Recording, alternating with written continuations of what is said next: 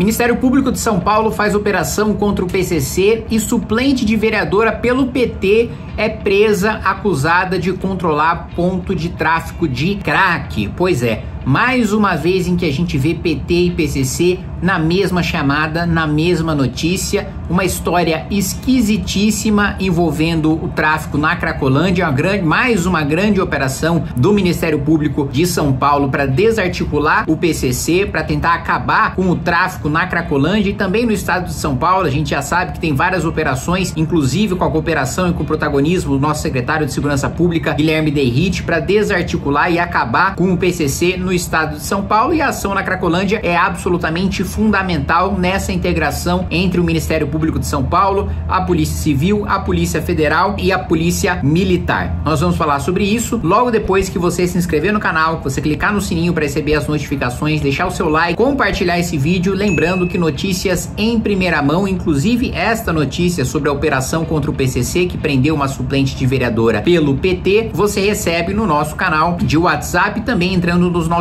grupos para ajudar a pressionar pela aprovação e rejeição de projetos de lei no Congresso Nacional. Também quero lembrar que nós estamos aí com o curso Os Segredos da Escrita para te ajudar a ter uma vantagem competitiva na sua vida profissional, na sua vida acadêmica, para seu próprio melhoramento pessoal, né, na sua vida, no seu íntimo, na sua vida pessoal, nos seus conhecimentos, naquilo que você quer é, terminar ou passar ao longo da sua vida, os conhecimentos que você quer adquirir e que, sem dúvida nenhuma, vão te ajudar em toda a sua carreira. O curso Segredos da Escrita é assim, baratíssimo, praticamente de graça, no preço promocional aí de 15 reais por mês, né? Ou seja, aí praticamente 50 centavos por dia. Você já fecha, você já paga esse curso de excelente qualidade. Me diz aí qual outro curso dessa qualidade você encontra por um preço tão barato. O link tá aí na descrição do vídeo para quem quiser uh, adquirir e fazer parte desse curso. Muito bem, vamos lá. Presa na operação na Cracolândia é suplente de vereadora pelo PT. Operação contra o tráfico na Cracolândia prendeu ex-candidata vereadora pelo PT. A ação tem como objetivo combater a atuação do PCC na região. Uma das pessoas presas na operação do Ministério Público contra o tráfico na Cracolândia, no centro de São Paulo, é uma mulher que concorreu à Câmara Municipal pelo PT nas eleições de 2020 e ficou como suplente. Janaína Xavier, de 44 anos, é suspeita de ligação com o tráfico de drogas. Segundo o Ministério Público, ela é apontada como a pessoa responsável por um hotel na Alameda Barão de Piracicaba que seria usado como ponto de venda de drogas. A prisão de Janaína foi requerida junto com a de outras seis pessoas que seriam integrantes do primeiro comando da capital, PCC, e responsáveis pelo tráfico de drogas na Cracolândia. Segundo o pedido de prisão da petista, ela seria parceira de Mardel Vidal da Silva, o Barra Funda, na operação do hotel. O documento lista uma série de mensagens de WhatsApp interceptadas durante a investigação, nas quais Janaína detalha o cotidiano na favela do Moinho, que fica perto da Cracolândia. Para os promotores, parte dessas mensagens traria informações para auxiliar o tráfico de drogas. Janaína se candidatou para o cargo de vereadora pelo PT em 2020 e teve praticamente toda sua campanha financiadas com recursos do fundo partidário, do nosso dinheiro, dinheiro público do fundo partidário do PT, vindos do diretório, né, do partido e da campanha do candidato a prefeito da sigla naquele ano, Gilmar Tato. Vamos lá, gente. Não é a primeira vez que a gente escuta sobre relacionamentos escusos, obviamente, porque a gente está falando aí de uma organização criminosa perigosíssima e do outro lado o PCC, né? É, então a gente está falando de relacionamentos ali entre o PT e o PCC e não é a primeira vez, né? A gente está escutando aí é, pela primeira vez em relação à Cracolândia, mas em relação a outros negócios e negócios até maiores do que a, do que a Cracolândia, não é a primeira vez que a gente vê. Uh, eu já disse há muito tempo, já venho dizendo há muito tempo, aliás, sou um dos poucos que tem coragem de falar sobre o relacionamento entre o PT e o PCC. O ex-líder do PT na Câmara de Vereadores de São Paulo, o vereador Senival Moura, fundou uma empresa né, acusada pela polícia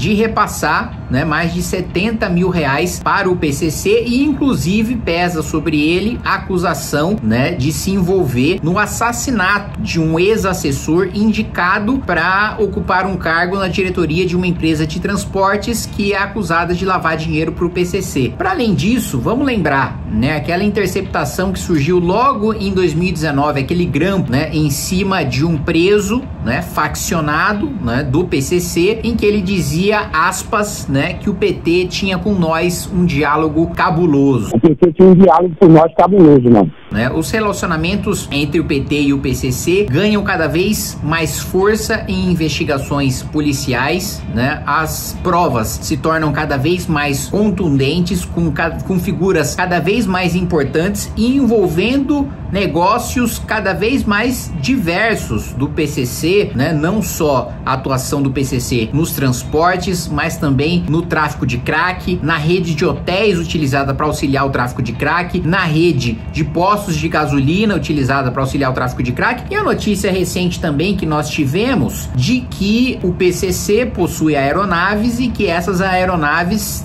teriam sido utilizadas por figuras influentes, muito influentes, aliás, da política brasileira. Né? Alguém aí teria algum palpite para dizer que político brasileiro poderia ter andado de carona aí em veículos do PCC, no jatinho, no helicóptero do PCC? Uh, ah, uma grande operação foi feita também em imóveis de luxo na zona leste de São Paulo, que tem sido um centro né, é, de encontro de lideranças de elite do PCC, né, em condomínio e, e, apartamentos de luxo de até 12 milhões de reais, encontraram fuzis, encontraram diversas armas e relatos de comerciantes locais, de donos de bares e de restaurantes mostram que é comum, né, o PCC externar, né, é, integrantes do PCC externarem riqueza, né, e mostrarem os seus carrões de luxo e expandir os seus negócios. A grande verdade é que o PCC Não é mais apenas uma organização que age nas favelas e cujas lideranças estão ali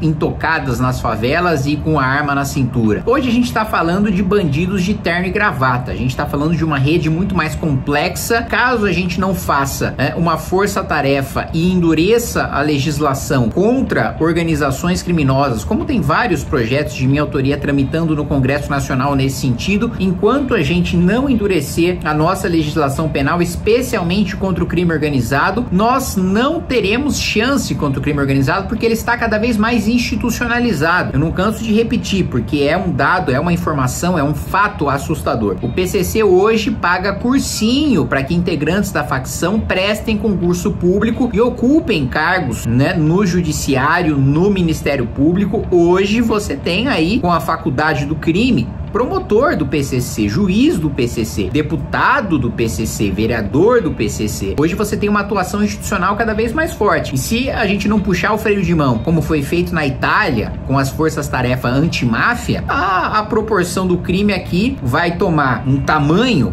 que não vai mais ter volta né, que a gente vai oficialmente se tornar uh, um narco-estado, um estado controlado por facções criminosas. Olha a situação do Rio de Janeiro, né, onde já se viu você ter territórios que a própria polícia reconhece que não pode entrar, que não pode ingressar porque é perigoso demais. Olha o absurdo de você ter um domínio territorial em que o Estado não pode entrar, ou seja, é, é, é o Estado oficialmente é, é, alegando e decretando a sua própria falência, reconhecendo a sua própria falência, dizendo: olha, nesses lugares nós não entramos, o governo é de um estado paralelo, o tribunal é o tribunal do crime, né? Isso é um verdadeiro absurdo e não tem a menor dúvida de que o apoio político partidário institucional auxilia o PCC espero e desejo sorte e segurança para todos os policiais, para todas as forças de segurança, os promotores e os juízes que estão atuando né, nesses casos envolvendo o PCC. Desejo toda a sorte, toda a proteção para vocês e para a família de vocês, que eu sei que vocês estão se envolvendo com gente muito perigosa. E o que eu puder fazer o meu mandato de deputado federal para auxiliar, vocês podem contar comigo. Ler e escrever com qualidade foi fundamental para poder chegar onde cheguei, tanto passando na universidade, como para fazer o trabalho de conclusão de curso, como depois na minha carreira profissional, como comentarista político, colunista de jornal e depois vencendo duas eleições de deputado federal, foi fundamental ler e escrever com qualidade, absorver o máximo possível dos livros que eu lia e também poder escrever primeiro redações e depois três livros já publicados, todos eles muito bem vendidos. Se você também quer fazer parte desse time das pessoas que possuem a habilidade de ler, de escrever, de absorver aquilo que estão lendo, de conseguir passar suas ideias com clareza e com qualidade, a gente está agora com o curso Os Segredos da Escrita. Se você se interessou, é só você clicar no link da descrição do vídeo.